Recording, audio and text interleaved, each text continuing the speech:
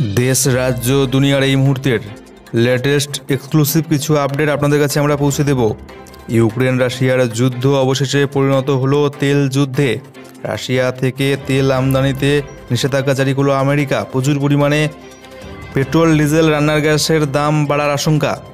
এছাড়াও কেমন থাকবে রাজ্যের আবহাওয়া উত্তরবঙ্গ থেকে শুরু করে দক্ষিণবঙ্গ জুড়ে বিস্তারিত জানাব। রাজ্যের স্কুল শিক্ষকদের পেনশন নিয়ে বড় ঘোষণা করলেন মুখ্যমন্ত্রী মমতা বন্দ্যোপাধ্যায়। প্রত্যেকটি আপডেট জানাব আপনাদেরকে বিস্তারিত। এছাড়াও মাধ্যমিকের প্রশ্ন ফাঁস নিয়ে আন্তর্জাতিক বিমান পরিষেবা চালু নিয়ে বিরাট বড় সুখবর রয়েছে প্রত্যেক রাজ্যবাসীর জন্য, প্রত্যেক দেশবাসীর জন্য। এছাড়াও আপনার ডিজিটাল রেশন কার্ডের সঙ্গে আধার কার্ড লিঙ্ক করতেই হবে। কবে করতে হবে লিঙ্ক না করলে কি হবে? বিস্তারিত আপনাদেরকে জানাব আমরা। এছাড়াও যারা ফিচার মোবাইল ফোন ব্যবহার করেন, সাধারণ মোবাইল ফোন, ইন্টারনেট ছাড়াই করতে পারবেন টাকার লেনদেন। মোবাইল রিচার্জ বিদ্যুতের বিল পেমেন্ট। বড় ঘোষণা রিজার্ভ ব্যাঙ্ক অফ ইন্ডিয়ার বিস্তারিত প্রত্যেকটি আপডেট এক্সক্লুসিভ এবং আপনাদের জানতে হবে। তাই জুড়ে থাকবেন শেষ পর্যন্ত রোজ বাংলা ইউটিউব চ্যানেলের পর্দায়। চলতি মাসেই শেষ করতে হবে রেশনে আধার যোগের প্রক্রিয়া। আধার কার্ড এখনও লিঙ্ক না করলে আপনার জন্য দ্রুত আপনাকে করতে হবে এই কাজটি। করতে পারেন না হলে বড়সড় সমস্যায়। রেশন গ্রাহকদের আধার নম্বর যাচাইয়ের প্রক্রিয়া চলতি মাসের মধ্যে শেষ করতে বিজ্ঞপ্তি জারি করল খাদ্য দপ্তর। যে গ্রাহকদের আধার কার্ড নেই, তারা এক তারা একত্রিশে মার্চের মধ্যে নতুন আধার কার্ডের আবেদন করতে হবে তাদের। আধার নম্বর না পাওয়া পর্যন্ত তারা খাদ্য দপ্তরের বিশেষ অনুমতি নিয়ে রেশন সংগ্রহ করতে পারবেন। সেক্ষেত্রে তাদের আধার কার্ডের আবেদন করবেন যে আপনি আধার কার্ড, সেই আধার কার্ডের এনরোলমেন্ট স্লিপ আপনাকে কিন্তু দেখাতে হবে। তাহলেই আপনি রেশন পাবেন। রেশন কার্ড ছাড়াও pan card, voter card, driving license, একশো দিনের কাজের কার্ড বা ব্যাংক বা ডাকঘরের পাস বইয়ের মধ্যে যে কোনো একটি আপনাকে দেখাতে হবে। পাঁচ বছরের কম বয়সীদের জন্য আপাতত আধারের প্রয়োজন হবে না। খাদ্য দপ্তরের বিজ্ঞপ্তিতে বলা হয়েছে, কারও আধার না থাকলে পরিবারের কোনো সদস্যের নমিনি হিসাবে এই সমস্ত নথি দেখালে রাজ্য খাদ্য সুরক্ষা প্রকল্পের R K S Y one এবং টু খাদ্য কার্ডে খাদ্যশস্য তারা পাবেন। জাতীয় খাদ্য সুরক্ষা প্রকল্পের গ্রাহক যারা রয়েছেন, তারা এই সুবিধা পাবেন কি না অর্থাৎ, রেশন কার্ডের সঙ্গে আধার কার্ড লিঙ্ক না করলে তারা খাদ্যশস্য পাবেন কি না তা অবশ্য জানানো হয়নি। জাতীয় প্রকল্পের আওতায় থাকা যে সমস্ত গ্রাহকের আধার নম্বর যাচাই হয়নি, তাদের ক্ষেত্রে অনিশ্চয়তা রয়েছে। কেন্দ্রীয় সরকার ইতিমধ্যে বিজ্ঞপ্তি করে রাজ্যগুলিকে একত্রিশে মার্চের মধ্যে যাচাই প্রক্রিয়া শেষ করতে বলেছে। রাজ্যে আটাত্তর শতাংশ রেশন গ্রাহকের আধার নম্বর আপাতত লিঙ্ক করা হয়েছে রেশন কার্ডের সঙ্গে। তো বুঝতেই পারছেন, রাজ্য সরকারের যে দুটো রেশন কার্ড রয়েছে R K S I one R K S I two, আপনাদের কিন্তু আপনারা একত্রিশে মার্চের মধ্যে আপনাকে লিঙ্ক করতে হবে রেশন কার্ডের সঙ্গে আধার কার্ড। যদি এখনও লিঙ্ক না করে থাকেন এবং আপনারা যারা যারা এখনও আধার কার্ড নেই, তারা আধার কার্ডের আবেদন করবেন এনরোলমেন্ট যে স্লিপ সেটা দেখিয়ে কিন্তু আপনারা R K S I one R K S I two এর রেশন আপাতত পাবেন। এবং যারা R K S I one R K S I two বাদ দিয়ে বাকি যাদের রেশন কার্ড রয়েছে, জাতীয় কেন্দ্রীয় সরকারের রেশন কার্ড, তাদের কি হবে? তাদের ক্ষেত্রে সেটা কিন্তু এখনও জানা যায়নি। তো আপনাদের যদি আধার কার্ড থেকে থাকে, একত্রিশে মার্চের আগে অবশ্যই লিঙ্ক করে নেবেন, নাহলে কিন্তু বড়সড় সমস্যায় পড়তে পারেন আপনারা। কমেছে দেশ তথা রাজ্য জুড়ে কোভিড সংক্রমণ। দু বছর পর সাতাশে মার্চ থেকে স্বাভাবিক হচ্ছে দেশে আন্তর্জাতিক বিমান পরিষেবা। অবশেষে দু বছর পর স্বাভাবিক হচ্ছে আন্তর্জাতিক বিমান পরিষেবা। সাতাশ মার্চ থেকে আন্তর্জাতিক উড়ানের ক্ষেত্রে কোনো রকম নিষেধাজ্ঞা থাকছে না আর দেশে। এমনটাই জানানো হলো কেন্দ্রীয় অসামরিক বিমান পরিবহন মন্ত্রকের তরফে টুইট করে। এ নিয়ে জ্যোতিরাদিত্য সিন্ধিয়া টুইটে লিখেছেন, সমস্ত স্টেক হোল্ডারদের সঙ্গে কথা বলার পর এবং করোনার দাপট কমায় আগামী সাতাশ মার্চ থেকে আন্তর্জাতিক বিমান পুরোদমে পরিষেবা স্বাভাবিক করার সিদ্ধান্ত নিলাম আমরা। রাজ্যের স্কুল শিক্ষকদের পেনশন সমস্যা মেটাতে বড়সড় পদক্ষেপ নবান্নের। কী সিদ্ধান্ত নেওয়া হলো বিস্তারিত জানাচ্ছি আপনাদেরকে। অবসর নেওয়ার পরে সরকারি সাহায্যপ্রাপ্ত স্কুলের শিক্ষকদের একাংশ পেনশন পাচ্ছেন না। এই অভিযোগের প্রেক্ষিতে ব্যবস্থা নিল এবার নবান্ন। জট কাটাতে আজ অর্থ দপ্তরের সঙ্গে department of pension provident fund and group ইন্স্যুরেন্সের আধিকারিকদের বৈঠক হয়। সূত্রের খবর, সিদ্ধান্ত হলো তিন মাসের বেশি সময় ধরে যাদের পেনশন ফাইল আটকে, তাদের সবার পেনশন ফাইল আগামী এগারো মার্চের মধ্যে রিলিজ রিলিজ করতেই হবে। এরপর জানুয়ারির বাইশ তারিখ অবধি যাদের পেনশন ফাইল আটকে, তাদের ফাইল রিলিজ করতে হবে পঁচিশ মার্চের মধ্যে। আর ফেব্রুয়ারির বাইশ তারিখ অবধি যাদের পেনশন ফাইল আটকে, তাদের ফাইল রিলিজ করতে হবে পনেরো এপ্রিলের মধ্যে।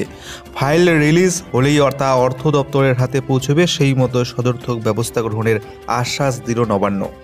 বাজেট পেশের পরেই পুরসভাগুলিতে চেয়ারম্যানদের নাম চূড়ান্ত ঘোষণা করবে তৃণমূল। রাজ্য বিধানসভার বাজেট অধিবেশন সোমবার শুরু হয়েছে রাজ্যে। আগামী শুক্রবার মুখ্যমন্ত্রী মমতা বন্দ্যোপাধ্যায় সরকারের হয়ে বাজেট ভাষণ পড়তে পারেন অর্থ দপ্তরের মন্ত্রী চন্দ্রিমা ভট্টাচার্য। তারপরেই রাজ্যের পুরসভাগুলির চেয়ারম্যানদের নাম ঘোষণা করবেন তৃণমূল নেতৃত্ব। এমনটাই জানিয়েছেন তৃণমূল মহাসচিব পার্থ চট্টোপাধ্যায়। মঙ্গলবার নজরুল মঞ্চে তৃণমূলের সাংগঠনিক বৈঠক ছিল, সেখানে হাজির ছিলেন দলের শীর্ষ নেতৃত্ব। দলনেত্রী মমতাও ছিলেন। ওই বৈঠক শেষে পার্থবাবু বলেন, রাজ্য বিধানসভায় বাজেট অধিবেশন চলছে। আগামী শুক্রবার বাজেট পেশ হওয়ার পর পুরসভার চেয়ারম্যানদের নাম চূড়ান্তভাবে ঘোষণা করা হবে রাজ্যে। প্রসঙ্গত রাজ্যের একশো আটটি পুরসভার মধ্যে এককভাবে একশো দুটি পুরসভা দখল করেছে তৃণমূল। বাকি চাপাদানি, এগড়া, বেলডাঙ্গা, বেলদা পুরসভায় ত্রিশঙ্কু হয়েছে। যদিও সেক্ষেত্রে জয়ী নির্দল কাউন্সিলরদের সঙ্গে কথা বলে ওই চার পুরসভায় বোর্ড গঠনের চেষ্টা চালাচ্ছে শাসক দল তৃণমূল। তাই চলতি সপ্তাহে আর কিছুদিন সময় নিতে চাইছেন তৃণমূল শীর্ষ নেতৃত্ব। শুক্রবার বাজেট পর্ব মিটে গেলে পুরসভার চেয়ারম্যানদের নাম ঘোষণা করা হবে বলে জানা যাচ্ছে। শুধু চেয়ারম্যানই নয়, ভাইস চেয়ারম্যান বিভিন্ন পুরসভার সিআইসিদের নামও একই সঙ্গে ঘোষণা করা, করতে পারে তৃণমূল বলে এমনটাই জানা যাচ্ছে। ফের অসুস্থ মদন মিত্র, এসএসকেএম হাসপাতালে ভর্তি হলেন কামারহাটির বিধায়ক। ফের অসুস্থ হলেন তিনি। এসএসকেএম হাসপাতালে ভর্তি হলেন। জানা গিয়েছে, মঙ্গলবার বিকেলে প্রচণ্ড গলা ব্যথা শুরু হয় তার। গলায় একটি টিউমার ধরা পড়েছে। সূত্রের খবর, সেই সঙ্গে বুকে ব্যথা রয়েছে কামারহাটির বিধায়কের। ইএনটি বিশেষজ্ঞ অরুণাব সেনগুপ্তের তত্ত্বাবধানে এসএসকেএম হাসপাতালে ভর্তি রয়েছেন মদন। বুধবার সকাল নটা নাগাদ মেডিকেল বোর্ড বসবে। বিশেষজ্ঞ বোর্ডের চিকিৎসকেরা পরবর্তী চিকিৎসা কীভাবে হবে সেই নিয়ে চূড়ান্ত পদক্ষেপ নেবেন। তার গলায় অস্ত্রোপচার করা হতে পারে বলে জানা যাচ্ছে। মমতার উপস্থিতিতে তৃণমূলে যোগ দিলেন জয়প্রকাশ মজুমদার, পতাকা নিলেন ফিরাদ হাকিমের হাত থেকে। বিজেপি তাকে বহিষ্কার করেছিল। তারপর থেকে এক প্রকার জল্পনা ছিল যে তিনি হয়তো তৃণমূল কংগ্রেসে যোগ দিতে পারেন। কারণ বহিষ্কৃত হওয়ার পর সাংবাদিক বৈঠক করে বারংবার জয়প্রকাশ মজুমদার একদিকে যেমন বিজেপি নেতৃত্বকে আক্রমণ করেছিলেন, অন্যদিকে মমতা বন্দ্যোপাধ্যায় তার নেতৃত্বকে ভূয়সী প্রশংসায় ভরিয়ে দিয়েছিলেন। এবং মঙ্গলবার নারী দিবসের দিনে এই জল্পনাই সত্যি হল তৃণমূল কংগ্রেসে যোগ দিলেন জয়প্রকাশ মজুমদার। মমতা বন্দ্যোপাধ্যায়, অভিষেক বন্দ্যোপাধ্যায়ের উপস্থিতিতে তিনি ফিরাদ হাকিমের হাত থেকে দলীয় পতাকা তুলিয়ে নিলেন। শুধু তৃণমূলে যোগদানই নয়, পেলেন বড় পথ। তৃণমূল কংগ্রেসের রাজ্য সহ সভাপতি হিসেবে তাকে নির্বাচিত করা হলো। এই দলবদল সম্পর্কে কথা বলতে গিয়ে তিনি বলেন, মমতা বন্দ্যোপাধ্যায় যে রাজনৈতিক ময়দানের মেসি, তাতে কোনো সন্দেহ নেই। তিনি যখন কংগ্রেস ছেড়ে বিজেপিতে গিয়েছিলেন, তখন তাদের ভোট ছিল চার থেকে পাঁচ শতাংশ। তাই কেউ তাকে সুযোগ সন্ধানী বলতে পারবে না। আজ তিনি তৃণমূল কংগ্রেসে যোগ দিয়েছেন। বাংলার উন্নয়নকে আরও এগিয়ে নিয়ে যাওয়ার জন্য। নারী দিবসে তিনি তৃণমূলে যোগ দিয়েছেন। এই প্রসঙ্গে জয়প্রকাশের বক্তব্য, বাংলাকে এগিয়ে নিয়ে যাচ্ছেন অনন্যা অনন্যা এক নারী।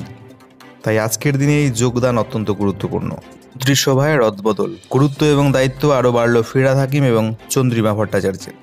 রাজ্য মন্ত্রিসভায় বড় রদবদল করলেন মমতা বন্দ্যোপাধ্যায়। নবান্ন সূত্রে জানা গেছে, সোমবার এই রদবদল হয়েছে। পরিবর্তিত মন্ত্রিসভায় আরও একবার পুর এবং নগর উন্নয়ন দপ্তরের দায়িত্ব পেলেন ফিরহাত ভালো কাজের স্বীকৃতি দেওয়া হলো তাকে। গুরুত্বপূর্ণ দায়িত্ব সামলানোর স্বীকৃতি দেওয়া হলো ফিরহাত হাকিমকে। কলকাতার মেয়র হওয়ার আগে দশ বছর এই পুর এবং নগর উন্নয়ন নগর উন্নয়ন দপ্তরের দায়িত্ব সামলেছেন ফিরা হাকিম এরপর এই দায়িত্ব পান চন্দ্রিমা ভট্টাচার্য। সেই দায়িত্বই পুনরায় নতুন করে আবার এলো ফিরহাত হাকিমের কাছে। একই সঙ্গে আবাসন পরিবহন দপ্তরের কাজও সামলাবেন ফিরা হাকিম এদিকে অর্থ দপ্তরের স্বাধীন দায়িত্বপ্রাপ্ত রাষ্ট্রমন্ত্রী হলেন চন্দ্রিমা ভট্টাচার্য। চন্দ্রিমা এই দপ্তরের প্রতিমন্ত্রী ছিলেন। এতদিন মুখ্যমন্ত্রী নিজের হাতে রেখেছিলেন অর্থ দপ্তর। এখন স্বাধীন দায়িত্ব দেওয়া হলো চন্দ্রিমাকে। মন্ত্রিসভার নয়া তালিকা সোমবারই রাজ্যপাল জগদীপ ধনকরের কাছে পাঠিয়ে দেওয়া হয়। মঙ্গলবার টুইটারে বিজ্ঞপ্তি প্রকাশ করে তা নিশ্চিত করেছেন রাজ্যপাল। ইন্টারনেট ছাড়াই অনলাইনে টাকা লেনদেন, বড় ঘোষণা রিজার্ভ ব্যাংকের। এবার সাধারণ মোবাইল গ্রাহকদের জন্য চালু হলো UPI one, two, three pay, বড় সড়ো ঘোষণা। স্মার্টফোন নেই আপনার কাছে, ইন্টারনেট নেই।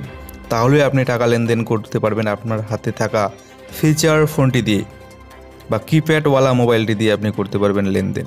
ভুল থেকে শিক্ষা, টাকা পাঠাতে ছ বছর আগেই সাধারণ মোবাইল ফোনের জন্য ইউএসএসডি নির্ভরে ইউপিআই চালু করেছিল রিজার্ভ ব্যাংক, কিন্তু প্রযুক্তিগত জটিলতা চার্জেবল হওয়ায় তা অচিরেই মুখ থুবড়ে পড়ে।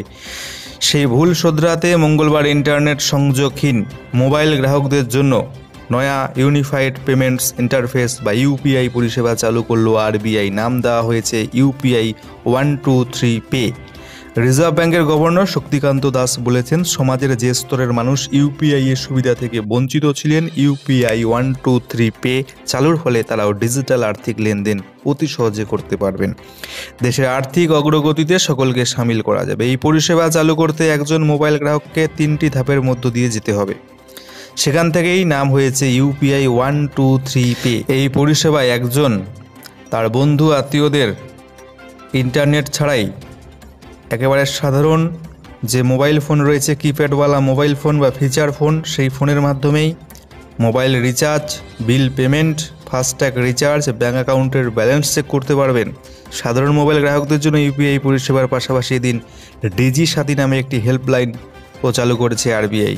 W W W dot DigiSaathi dot info নামক ওয়েবসাইটে ঢুকে একজন গ্রাহক তার সমস্যার কথা জানাতে পারবেন। পাশাপাশি one double four three one এবং one eight double zero eight nine one double three double three নম্বরে ফোন করে সমস্যার সমাধান করা করতে পারবেন সেই সকল গ্রাহকরা। ভয়ঙ্কর দিন ঘনিয়ে আসছে। রাশিয়া ইউক্রেন যুদ্ধ, তেল যুদ্ধ শুরু হলো এবার। দরের দুশ্চিন্তা ভারত জুড়ে। চিন্তায় মোদী সরকার।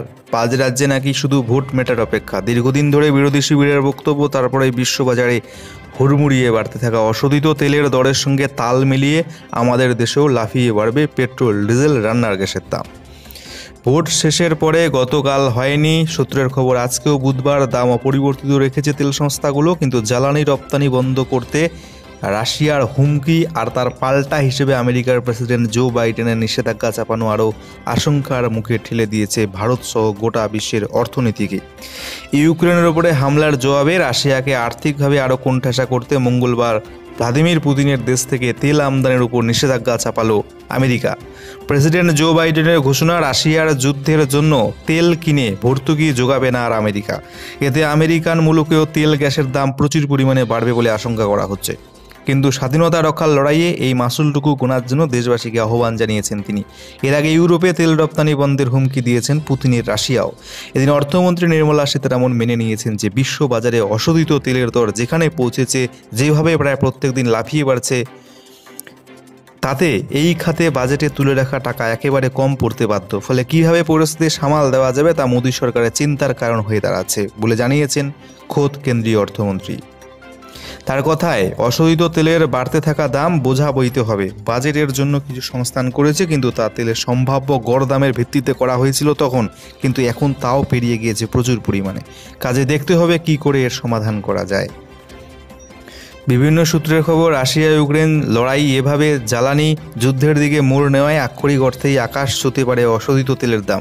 রাশিয়ার হুঁশিয়ারি, অশোধিত তেলের দর ব্যালের ব্যারেল প্রতি তিনশো ডলার পর্যন্ত পৌঁছে যেতে পারে। এই অবস্থায় পেট্রোল, ডিজেল, রান্নার গ্যাসের দামের ছেঁকা এড়ানো নিয়ে চিন্তিত এ দেশের সাধারণ মানুষ। কিন্তু অন্তত এদিন পর্যন্ত, আজকে পর্যন্ত দাম না বাড়ায় আপাতত কিছুটা স্বস্তি পেয়েছে দেশবাসী। বহুজাতিক তেল সংস্থা, নামকরা তেল সংস্থা, সেল ইতিমধ্যে জানিয়েছে তারা রাশিয়া থেকে তেল প্রাকৃতিক গ্যাস আমদানি বন্ধ করে দিচ্ছে। এর উপরে আবার আমেরিকার নিষেধাজ্ঞা। এই আবহে অশোধিত তেল সেই সূত্রে দেশেও জ্বালানির দর কোথায় পৌঁছবে সেই আশঙ্কা কারও হচ্ছে ক্রমশ। কারণ জ্বালানির দর বাড়লে তা থেকে ঠেলে তুলবে মূল্যবৃদ্ধির হারকেও। সেক্ষেত্রে করোনার ধাক্কা সামলে সবে মুখ তুলতে শুরু করা ভারতীয় অর্থনীতি ফের গভীর সংকটের মুখে পড়ার আশঙ্কা রয়েছে। প্রচুর পরিমাণে বাড়তে পারে পেট্রোল, ডিজেলের দাম, রান্নার গ্যাসের দামও। রাজ্যের ওয়েদার রিপোর্টটি আমরা এক নজরে দেখে নেব। উত্তরবঙ্গ থেকে শুরু করে দক্ষিণবঙ্গ আগামী আটচল্লিশ ঘণ্টা, অর্থাৎ দশ মার্চ, বৃহস্পতিবার সকালের মধ্যে উত্তরবঙ্গ এবং দক্ষিণবঙ্গের সবকটি জেলার আবহাওয়া থাকছে শুকনো। বৃষ্টিপাতের আপাতত কোনো সম্ভাবনাই নেই। এছাড়াও আগামী দিন পাঁচেক গাঙ্গেয় পশ্চিমবঙ্গের তাপমাত্রা সেরকম কোনো পরিবর্তন হবে না। এছাড়া উত্তরবঙ্গের জেলাগুলোতে তাপমাত্রা সেরকম পরিবর্তন হবে না বলে পূর্বাভাসে জানানো হয়েছে আবহাওয়া দপ্তরের তরফ থেকে। অসংখ্য ধন্যবাদ আপনাদেরকে একেবারে শেষ পর্যন্ত আমাদের সাথে জুড়ে থাকার জন্য। বিদায় নিচ্ছি এখানেই। দেখা হচ্ছে আগামীকাল সকালে আগামী দিনের অত্যন্ত গুরুত্বপূর্ণ কিছু খবর নেই অসংখ্য অসংখ্য ধন্যবাদ।